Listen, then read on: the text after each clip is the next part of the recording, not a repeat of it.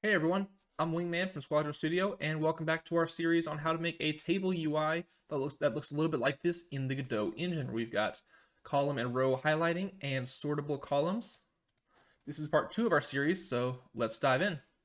Where we left off last time, we made a data frame class to hold our data, our data and our column headers, as well as some uh, utility functions for getting data and manipulating the data in the data frame. We created a main script to calculate some extra columns for a uh, sports team standings table here. The next thing is going to be to finally start displaying this data to our main scene. So let's go over here to our new scene button and create a control node. We're going to call it table. This is going to be our table scene. Um, so our table can be reusable with all sorts of data. We're not just going to hard code it once. Um, and then we're going to, then a, what a table is, is just a list of rows. So we're going to next add a VBox container and call that our rows. Uh, for this, we're going to want to go up to our anchors here and click the, click the full rectangle so it takes up the entire space of the table. Uh, save that as table.tscn hop over back over to main and inside our panel that we let's call that background because that's what it's going to be. It's going to be our table background and instantiate a table scene underneath that. Now we've got our table here. So now we're going to make another new scene. Uh, let's go back over here. This is going to be an HBox container. We're going to call it table row because these are going to be the rows of our tables. Save that scene. Uh, and again, set to full rect anchors, but more importantly, we're going to need to use these size flags here because these table rows are going to be a child of our VBox, VBox container here. So its arrangement is going to be determined by these. And we're going to want to click fill here, uh, as well as expand. And that'll just make it take as much space as it can inside the box container. So inside our rows box container, let's instantiate a couple of table rows. You can use Control D to duplicate, and now we can see we've got four rows equally dividing the space. Our rows are a bit empty though, so now we'll need to make some table cells to fill them with.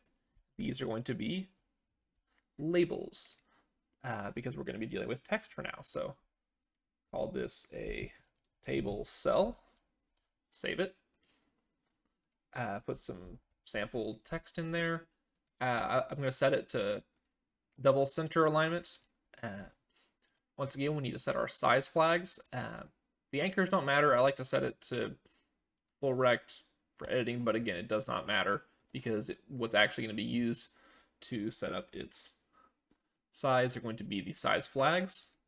So align with, expand, with expand and hit the fill buttons to make sure we've got the uh, full fill and expand flags. You can double check that down here in layout container sizing.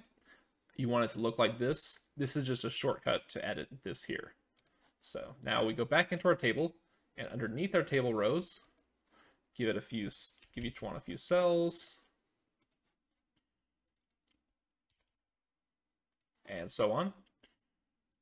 Now when we run, we've got, yeah, rows of cells but we want to be able to display our data that's actually real data and not just blank words. So go ahead and delete all these uh, just dummy rows and cells for now because we will be generating our rows and cells automatically in our table script. Go up here, yeah, table.gd, that's good. Uh, the way we're going to do that is by giving an export var data, which is going to be our data frame class that we made earlier. So now you see over here in the inspector for our table, uh, we can embed a data frame in our table so it knows what to render.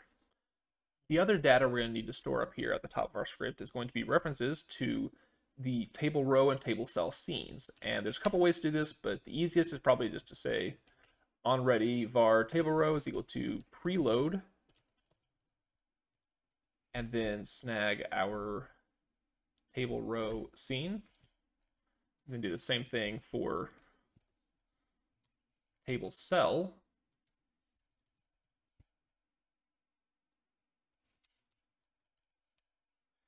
And that'll uh, let us instantiate table row and table cell with code.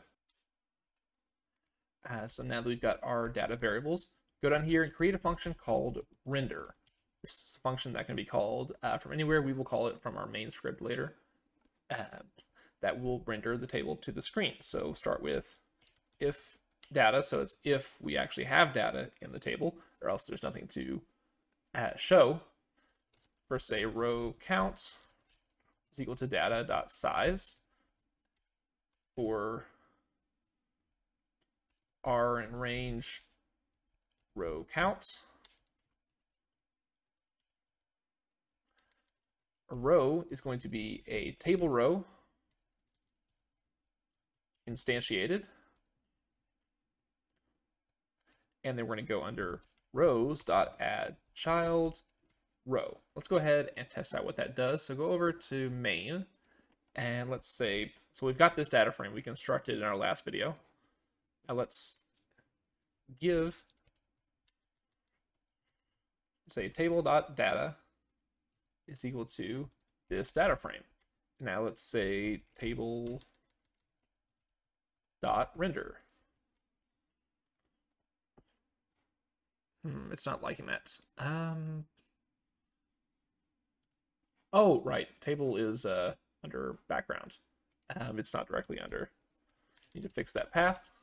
Background slash table. If you haven't used this dollar sign notation before, that's the same thing as saying get node background slash table. So it's just a, a nice little editor shortcut for that. So run it again. Um, Whoops, that's not what I wanted to check. Okay, run it. Now we can go over here, check under remote, under table, under rows. We've got one, two, three, four, five, six rows to match our one, two, three, four, five, six rows of our data. So go back, go ahead and leave that run, go back to our data frame render function. Um, so now we need to actually fill our rows.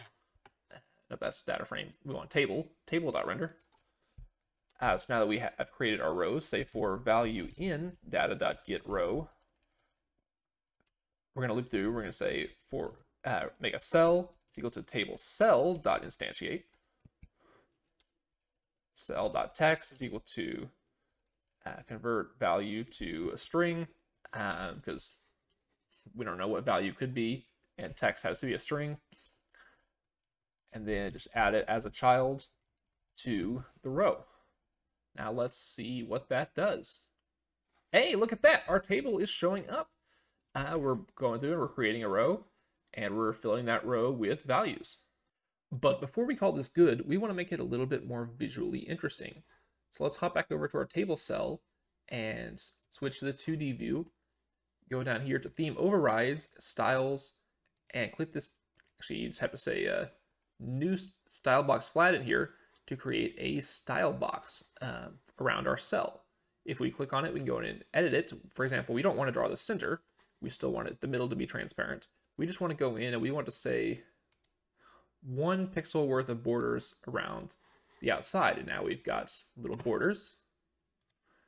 So when we uh, play, we can see that we've got borders now, but we don't want it to be these kind of double borders, we want it to be touching. So that's going to be some settings in our box containers. First, um, go into our table row, theme overrides, constants, separation zero. And now you'll notice that the horizontal rows, um, our content is directly touching each other. There's not space in between. Let's go back up to table, rows, same thing here, set separation to zero. And there we go. Now we've got uh, a more visually interesting table with lines dividing our cells. But any uh, observant watchers out there may have noticed that we're still missing one very important thing, or should I say one very important row, and that is our column headers, our team won lost total percent. So the viewer knows what these columns actually mean. So we're going to have to make one more scene. Uh, Let's go in here, and these are going to be buttons.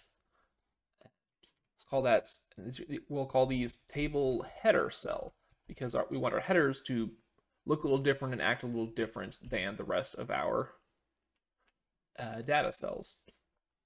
Let's call this header, put it in there. And once again, uh, make sure our size flags are fill and expand. So it shows in the, go ahead and save it, shows in the uh, row box container like we want. Let's go down here to theme overrides, just like we did with the, the other one. And for normal, new style box flat. Go down here again, add the borders.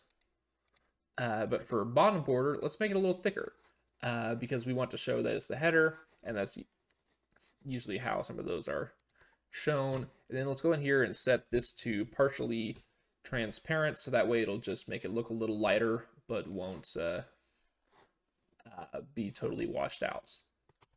Um, so let's go ahead and just test how that looks. Let's add a table row, add a couple header cells.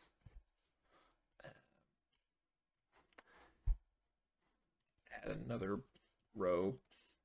Um, so yeah, we've got our uh, header cells with the uh, thick line at the bottom. Delete these for now. Then go back in here to our table script, into our render function. And at the top, before we make the rest of our rows, we're going to make a special row called calls row, and that's that is going to be a table row dot instantiate or call in this time we're going to instead of looping through the row we're going to uh, get row we're going to loop through data dot columns uh, and get instantiate a cell but it's going to be a uh, we need to import our table header cell. So same kind of deal table header cells equal to preload as table header cell then instantiate that down here set our text to uh, calls are always going to be strings, so we can just leave them like that.